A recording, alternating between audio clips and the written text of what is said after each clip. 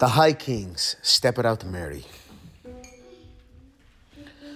Step it out, Mary, my fine daughter. Step it out, Mary, if you can. Step it out, Mary, my fine daughter. Show your legs to the countryman. Step it out, Mary, my fine daughter. Step it out, Mary, if you can. Step it out, Mary, my fine daughter. Show your legs to the countryman. In the village of Kilgorey, there's a maiden young and fair. Her eyes shine like diamonds, she has long and golden hair.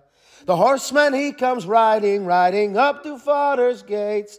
On a pure white stallion he comes at the strike of eight. So step it out, Mary, my fine daughter. Step it out, Mary, if you can. Step it out, Mary, my fine daughter. Show your legs to the countryman.